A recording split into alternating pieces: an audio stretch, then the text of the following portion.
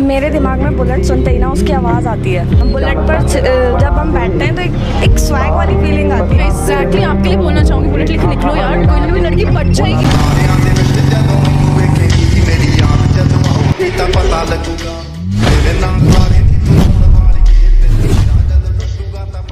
uh, I'm not.